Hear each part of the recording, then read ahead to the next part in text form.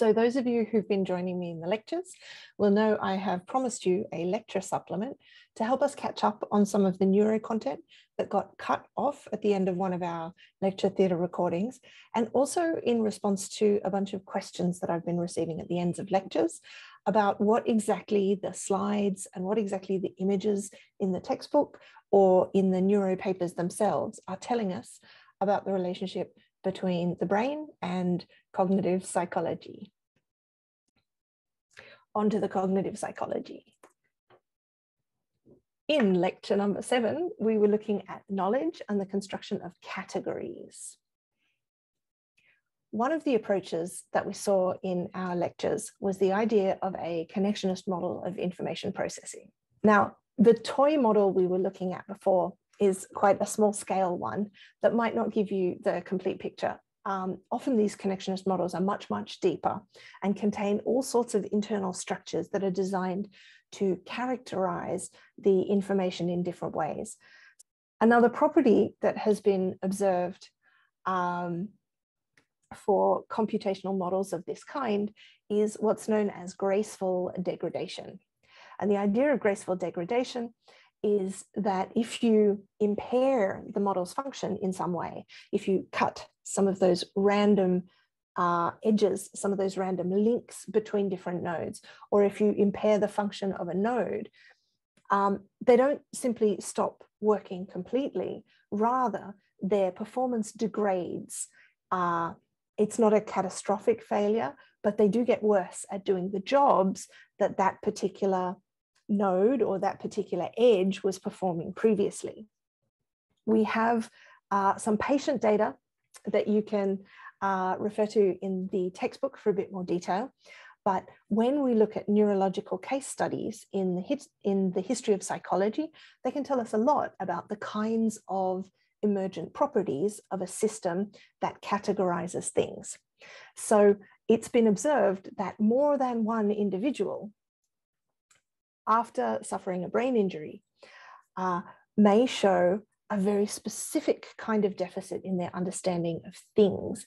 Now, in this case, we have two different patients who are both showing very good performance on non animate but living things. And both of these patients show a deficit for living animals so uh, these are patients who, if they were asked to identify an apple or a tree or a grass, would do very well. But if they were asked to identify uh, a dog or a horse, they might struggle a lot with to access that knowledge. So this suggests uh, across the board that functional organization of categories in the brain is both distributed in that it's spread among multiple resources um, and also domain specific. So you might have uh, regions in the brain that handle the animacy of living things, not just the category of animals. Uh, you might have regions in the brain that are coding for things like the functional properties of tools and objects. Uh, and you might lose your ability to understand object functions even though you understand very well the objects themselves. So that's what we mean by domain specific as well as distributed. So that brings us to the end of our uh, brief neuro recap for the topic on knowledge and categories. Topic eight was imagery of all kinds. And we're going to dive straight into the neurodata this time.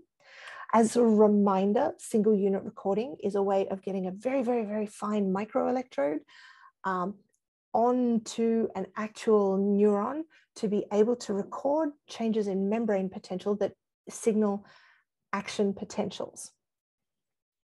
So the data that we have seen in this module include single unit recording from uh, areas of the brain that are being used to represent different kinds of information. In this case, um, how does a particular neuron respond in the presence of a ball or the presence of a human face?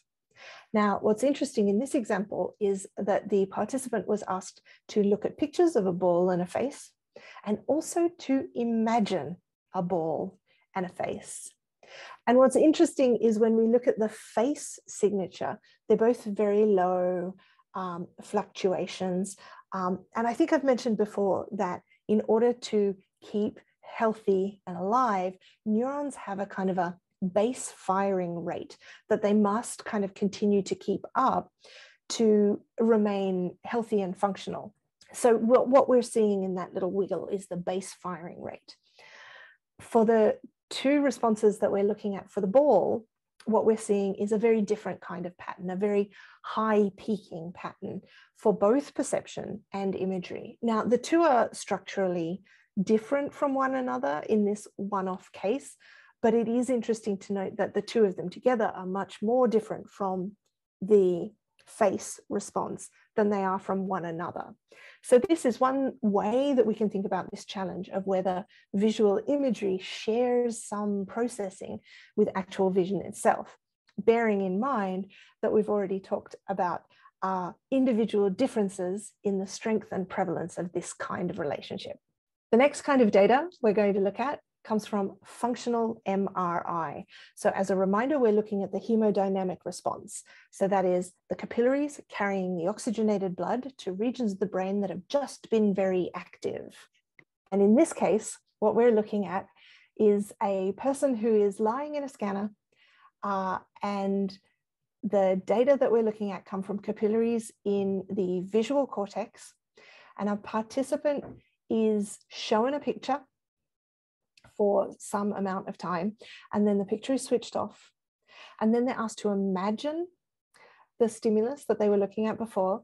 And then the stimulus is switched off. And then they are shown the stimulus again.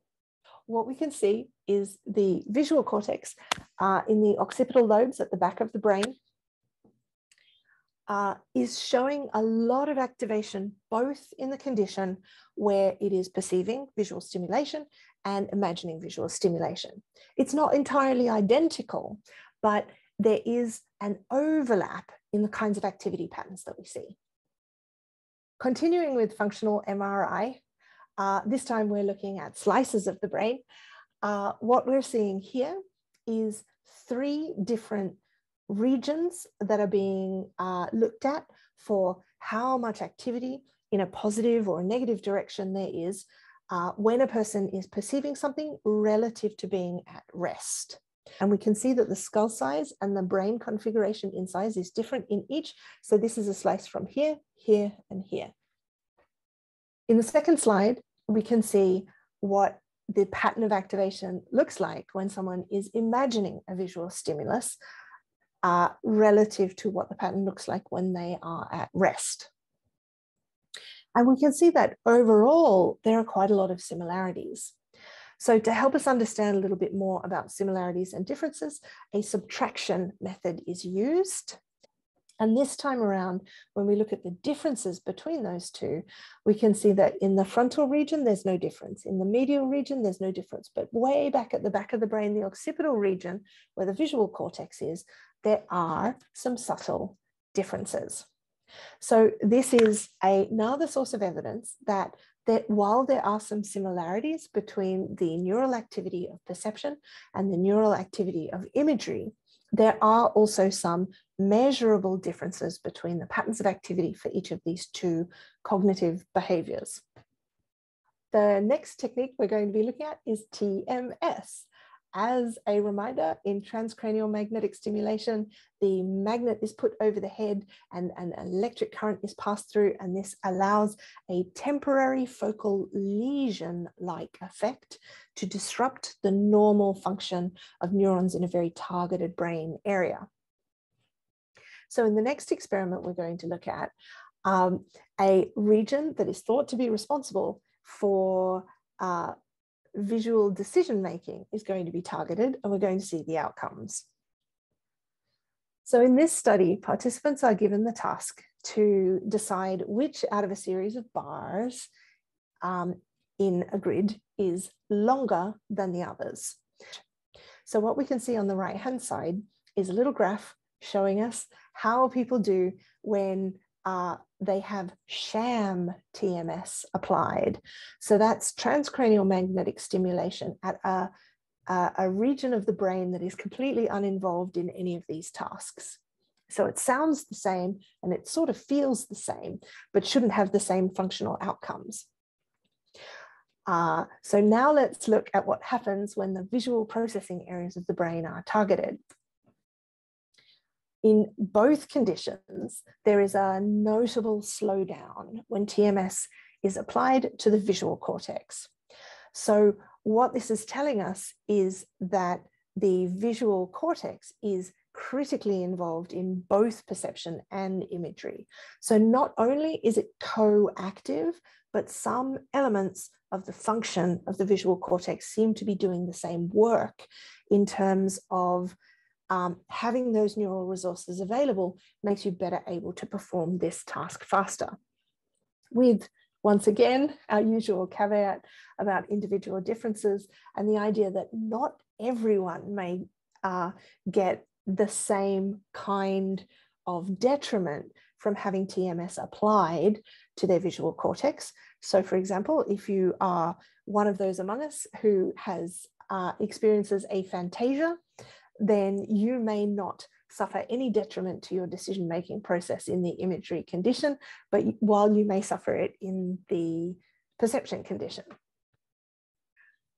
We're going to look at a couple of case studies now that can help us think about how uh, large-scale disruption to areas in the visual cortex might change the way that visual processing or visual imagery uh, works for an individual. So in this first example, we are looking at a patient who was going to undergo a surgery to remove a part of her right occipital lobe in a life-saving procedure. So before the surgery, she was involved in some tasks that would help the uh, practitioners to evaluate uh, what were the outcomes of the surgery. So the participant was asked to imagine walking towards a horse and stops when the horse is about to spill outside and then makes an estimate of how far she is away from the horse. So we have an illustration here on the right of the two distances uh, before and after the surgery. And so after her surgery, she reported needing to stop a lot further away from the horse before the horse started to spill out of her visual field. And this was taken as, an indication that her imagery space was a lot smaller after the surgical intervention than it had been beforehand. And almost, uh, it turns out, about the size that you would expect if she was only able to imagine with half her field of former vision. So this is another sign that the visual processing areas of the brain are very critically or heavily involved in the process of mental imagery, as well as in the process of perception, even if there are measurable differences in those two processes. The next example we're going to look at uh, is the phenomenon known as hemispatial neglect. Hemispatial neglect is a phenomenon that sometimes occurs when someone has suffered a stroke in their right hemisphere. Uh, so right hemisphere damage affects the left visual field. Now, it doesn't necessarily affect their vision, but it does affect their ability to pay attention to things that are in the right side of their visual space or in the right side of their imagined visual space. So, for example, if a person is asked to draw a clock or a schematic of a clock, from memory, they know that the face of the clock is round and they might have a routinized operation for drawing a circle. And they know that there are 12 numbers on a clock face, but these patients can struggle very, very, very much to pay attention to the left hand of the clock face. So they have to find some kind of solution to fit all of those numbers in on the right hand face of the clock. So this is another interesting consequence of how the brain supports uh, both category knowledge of how many um, numbers does a clock face have, and also uh, how we can pay attention to the visual space that we have in front of us uh, when we are doing something like uh, drawing a schematic of a clock or trying to eat our dinner and remembering to eat from both sides of the plate. We have two further case studies that give us a really interesting insight into vision and imagery together. Um, and these are the patients known as RM and CK who have different dysfunctions in their ability to access knowledge. So RM can draw accurate pictures of objects in front of him, but cannot draw accurate pictures of objects from memory. KC, on the other hand, has an inability to name pictures of objects, even his own drawings, even when they are in front of him, but can draw objects in very great detail from memory using imagery. So this is a classic case of double dissociation where one has an impairment in one thing and no impairment in the other, and the other person shows the exact opposite uh, pattern of impairment. So when we see a double dissociation, it strongly suggests that there is functional localization of these two different functions and that one person has an impairment in one and the other person has an impairment in the other. But for each of them, the other location is unimpaired. So taking all of these different uh, sources of data together, we now have a perspective that perception and imagery are working together in some way in the visual cortex. And although their functions may not be identical, there is a shared location that has some shared function for those of us who have visual imagery. Topic number nine was language. So we're going to look at some of the neuroscience methods that can be helpful in understanding uh, the relationship of the brain in processing language. And we're going to be looking at some specific studies that have investigated language in this way. So first of all, I'm going to remind us of those two patient brains we saw earlier from Broca. And what we're looking at here is lesion data. That is, what parts of the brain are damaged for people who may exhibit while they are alive certain functional disruptions. So Broca's investigation of these two cases, followed by his colleague Wernicke, have led to the Broca-Wernicke-Geschwind model of language processing in the brain. Now, there are more up-to-date models than this one, but this is a really great one to get started on, uh, where we know that we have two regions in the brain, and these two brain regions seem to show a double dissociation in the pattern of deficits that go along with people who've suffered damage in these areas. The second kind of evidence we're going to look at for language comes from EEG. So just as a reminder, the event-related potentials method takes the continuous signal, identifies time windows of interest relative to some event, takes those different segments, creates an average, a grand average across all uh, stimuli of a particular kind. And from this point onwards, we're able to investigate whether different categories or different types of stimuli have different outcomes. Every electrode on the head map that you can see in the bottom right hand side uh, has its own set of wiggles that have been uh, generated in exactly the way I've described. One of the most famous cognitive events in EEG is known as the N400. So N stands for negative, 400 stands for 400 milliseconds. The uh, electrical potentials that are recorded from the scalp tend to fluctuate in a more negative direction about 400 milliseconds after a person hears something that is quite unexpected. So the, the less expected something is, the more negative going this wave is. Uh, and in Kutas and Hillyard's uh, pioneering work in the 1980s, they established that the N400 is highly observable across, across a wide area in the scalp, uh, but tending more towards the back. If you're ever looking at an EEG map and you're trying to figure out which way the circular head is facing, the trick is to look for the little nose. And I will just point out, do watch out that uh, in the N400 literature, a lot of the authors publish the negative going wave in the upward direction rather than the downward direction. So that's what we're looking at here. So the cloze probability is sometimes used as a measurement of unexpectedness. The cloze probability is something you've probably done in your high school classes for language at some stage, where a teacher may have asked you to guess the word that goes in the gap. And we'll see some examples of that in a moment. Uh, so in this case, we see that uh, having a very unexpected word, the blue one, and, and or a word that cannot go in the sentence in the way that it's been uh, delivered, produce more negativity compared to the other conditions.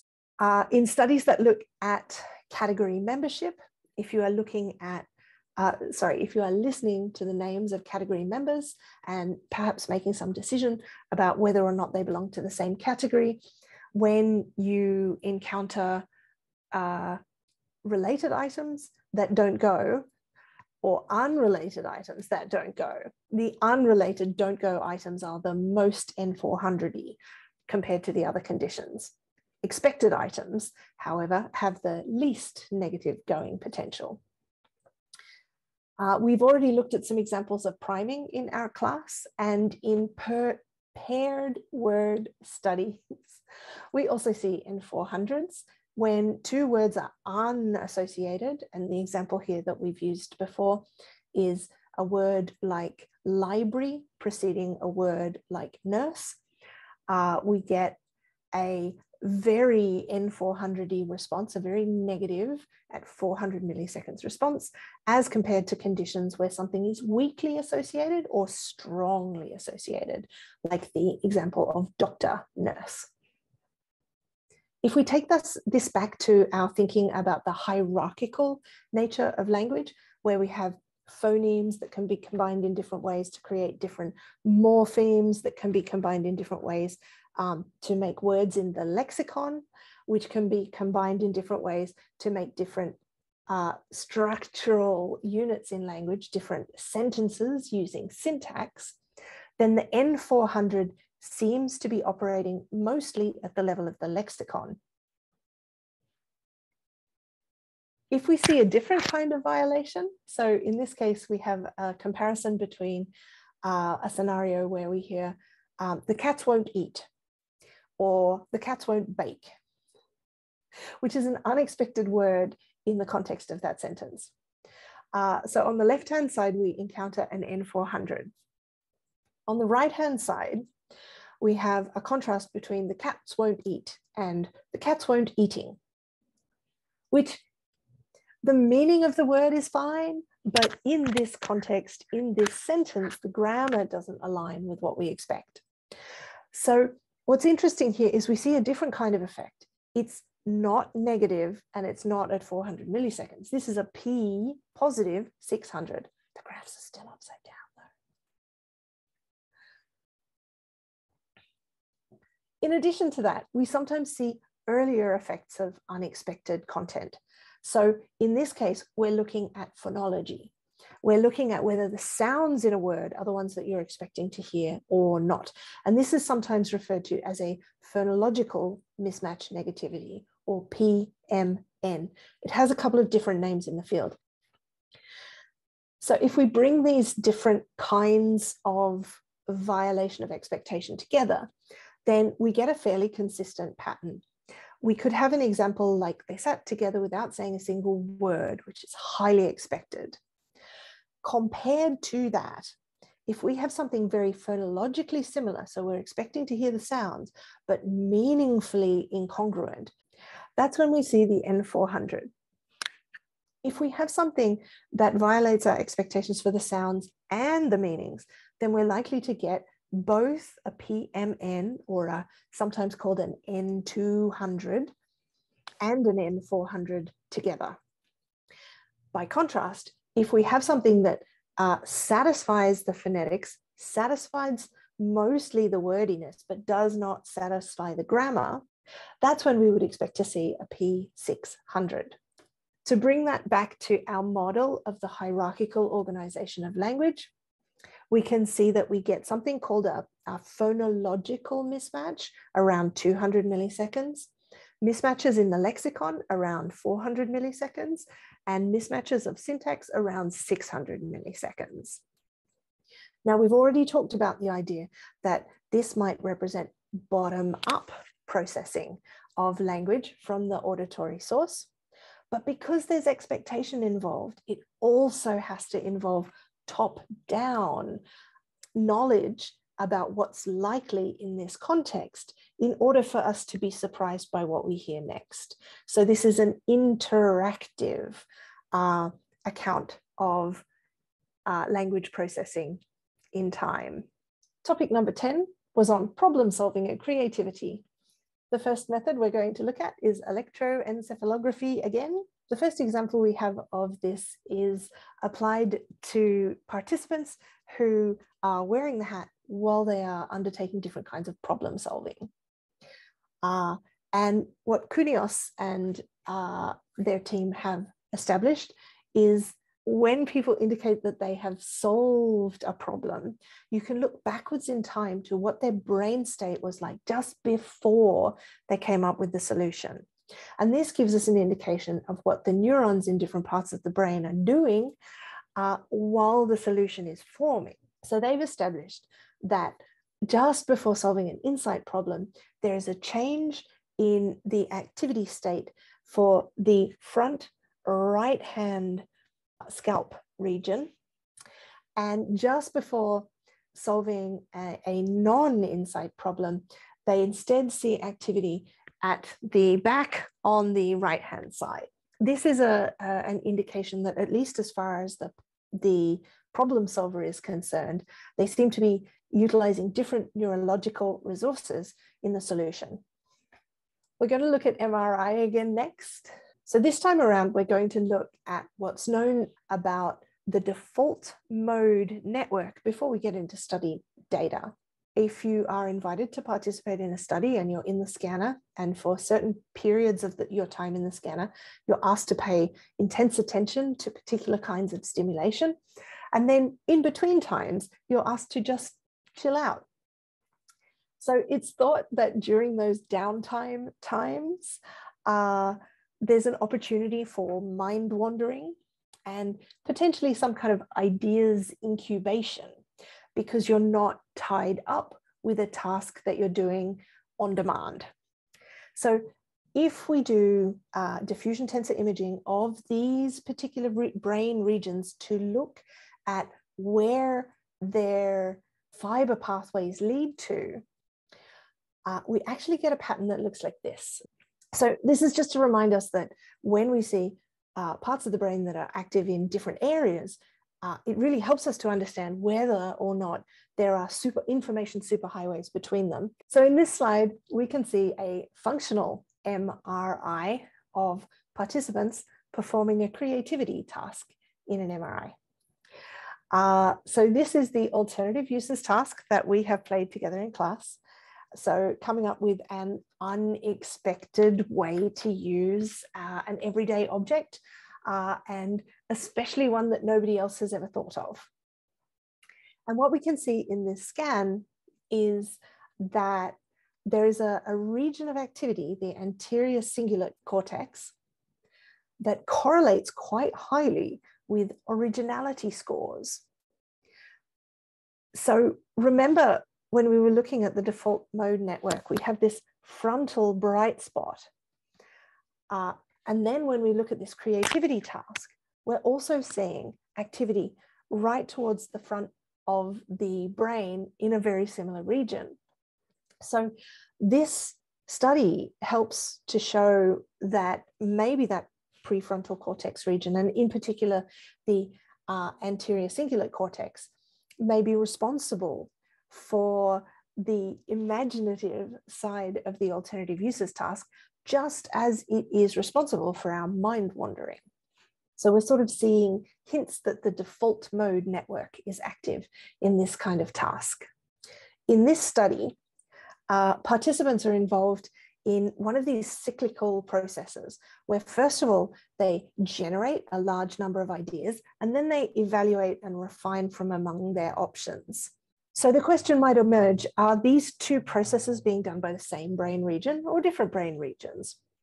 So what we can see at the top is a representation of the activity pattern that is observed when generating ideas creates more signal than evaluating.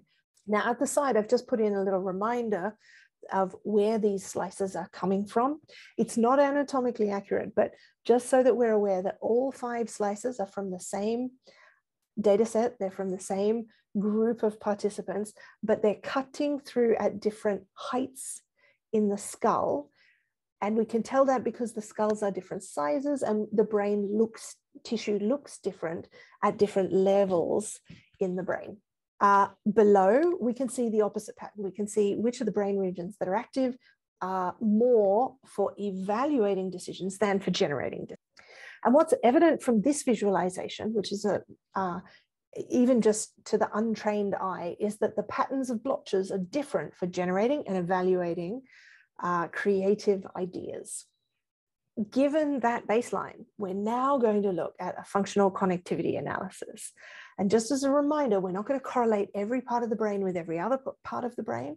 Instead, we're going to seed our analysis at the part of the brain that is most interesting to us.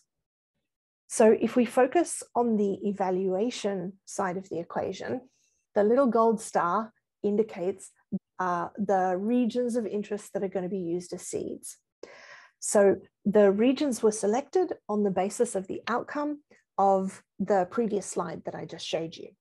So the dorsal anterior cingulate cortex is uh, used as the seed and the question we are asking in the top row of data represented here, the question we are asking is what other brain regions show strong co-activation when the dorsal anterior cingulate cortex is firing? And the answer is there's a lot of activity in the medial prefrontal cortex. So we saw before that bushy branching structure in the tractography, right? So one region in this cluster uh, is triggering a lot of activity through that whole prefrontal cortex region. But in particular, the medial prefrontal cortex.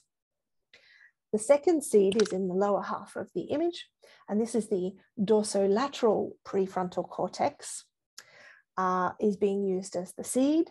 And again, we're asking the question, when this region is active during the evaluate phase of the task, what other regions are also co-active? And in this instance, the authors report uh, strong co-activation at the posterior cingulate cortex, again, the medial prefrontal cortex, and the temporoparietal junction. So this is taken as evidence that it's the executive network that is co-active with the default mode network that we saw earlier. So executive network being the decision-making one, default mode network being the creative free thinking brainstorming one. When the executive network uh, is more active, the default mode network is also more active. And this can be taken as a sign that our decision making and our creativity are intricately linked together. Lecture topic 11 was on decision making. And the method we're going to be focusing on is functional MRI, which is detecting, once again, the hemodynamic response, that is the oxygenated blood permeating areas of the brain that have recently been active. So the task in question is the ultimatum game. Now, we played the ultimatum game in class under uh, three different conditions. One, uh, where we imagined having $10, one where we imagined having $100, and one where we imagined having $100 but maybe playing against a member of our social network. um, in this particular study, participants were not playing against their own mothers, they were playing against another human or so they thought, or they were playing against a computer. The ultimatum game is a two player game. One person is given $10 and instructed that they can split it with the other player. The other player, player has the right of refusal, though, which means if the player with the money offers to split uh, only a very small amount with their partner, then the partner may refuse the deal and everybody walks away with no money. What's interesting in Western cultures when people play this game is uh, people are very happy to accept their offers at $5, the even split. But when the numerical quantity deviates much more than that, people start to behave uh, in very different ways, as though they are punishing a bad agent for offering them a bad deal. So, as we can see from the data in front of us, people often reject low offers because they are unfair. Uh, but people are more willing to accept even low offers if they believe that their playing partner is actually just a random computer. The next question that we can ask to follow up on this is what brain regions are involved in these decisions. So what we're going to be looking at in this slide is only the data from human partner games. And the data have been separated into fair decisions, which is the 50-50 split, and all of the other decisions are uh, classified as unfair. So one player may choose to reject or accept uh, an unfair offer. So when people are in the scanner making these decisions, uh, if we make a comparison between fair and unfair decisions, and once again, we just have two different slices at different depths in the skull side by side, uh, we can see two different regions that show more activation for unfair offers than for fair offers. So we can see activation in the insula and we can see activation in the prefrontal cortex. Now, up on the top right, you can see a little scatter plot. And what's interesting on the scatter plot is if you look at the level of activity in the insula, which is mapped on the y-axis, and you look at the uh, acceptance rates on X, what proportion of the unfair trials did a person accept the money? You can see that for people who had more activity in the insula, they accepted less of the offers. So this is telling us that when you have more activity in the insula, you are more likely to reject.